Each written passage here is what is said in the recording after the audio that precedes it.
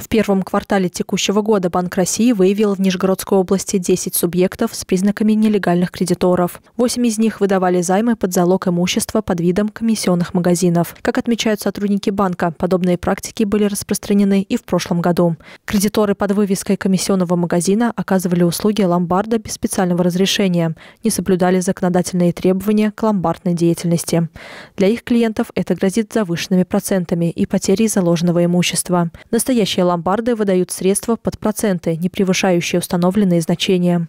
Имущество, которое становится предметом залога, страхуется. Для их клиентов это в первую очередь грозит штрафными санкциями, высокими процентами и потерей заложенного имущества. Такие нелегальные кредиторы не состоят в реестрах участников финансового рынка и не имеют права предоставлять потребительские займы. Они фактически вводят своих клиентов в заблуждение, предлагая им одну услугу вместо другой.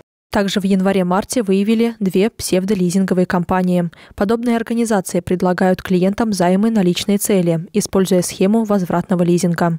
Они предоставляют деньги при условии продажи имущества, чаще всего автомобиля, по заниженной стоимости. Одновременно заключается договор, по условиям которого заемщик получает это же имущество в аренду. Клиенты убеждают, что лизинговые платежи – это возврат по займу с процентами.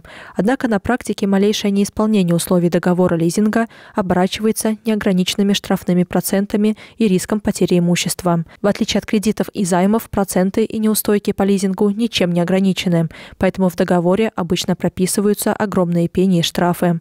Сами договоры составляются таким образом, что любое нарушение клиентам правил ведет к штрафу, а просрочка платежа может привести к тому, что компания оставит клиента без заложенного имущества. Поэтому, прежде чем заключать любой договор на э, предоставление финансовых услуг, нужно внимательно изучить его условия и проверить компанию. Сделать это можно на сайте Банка России. Также Банк России публикует на своем сайте список компаний с признаками нелегальной деятельности на финансовом рынке. Светлана Юрнова, Сергей Рябов, служба новостей Саров, 24.